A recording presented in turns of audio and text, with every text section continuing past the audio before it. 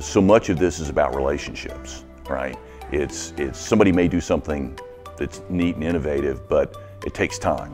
And, and, and being a partner over time, you begin to see your friends and your colleagues at the conferences year after year after year and, and it helps to build and strengthen those relationships. So at Seattle City Light, we benefit from our relationships with vendors and, and the opportunity to learn new vendors and connect with existing uh, folks at events like APPAs. And the way it benefits us is we deepen the relationships, we learn about new products and services, uh, we learn about alternatives.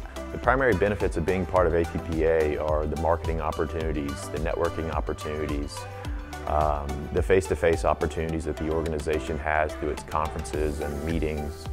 Um, there's really no other organization in the country that you can really um, reach the entire public power market from coast to coast where you have all the key decision makers and leaders of public power systems and joint action agencies all together. It's an opportunity to reconnect sometimes with our existing vendors. Um, I've already gone through and talked to some of our, our vendors actually talked to one I wasn't that familiar with that another uh, department at our company works with. And through our conversation, I realized that they part of their product is something that my department can use. So it's just it's a great tool. APPA has an opportunity through its vendor relationships to be that nexus between engineering and politics. There's a lot of things that go on. You can go to a lot of industry shows. You can see the latest fancy technology doodads.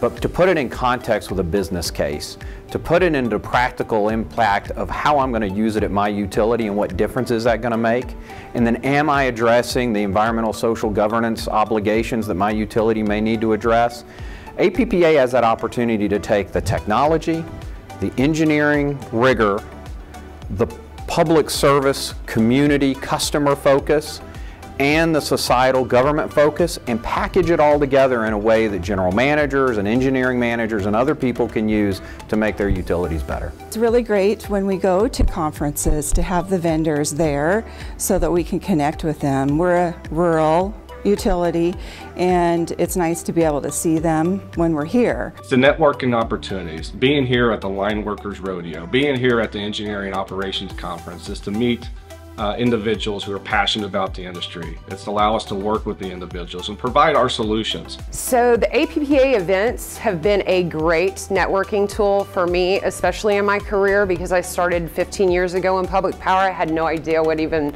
electricity, when I flipped the switch, I thought that's just how it works. But it's been a great uh, networking. I have friends from all over the nation. I've made friends with exhibitors. I've made friends among other utilities. Um, We've been able to serve a lot of public power systems and APPA has been a large part of that. And listen to the customers, listen to the feedback, so again, we can move the industry forward together, aligning initiatives.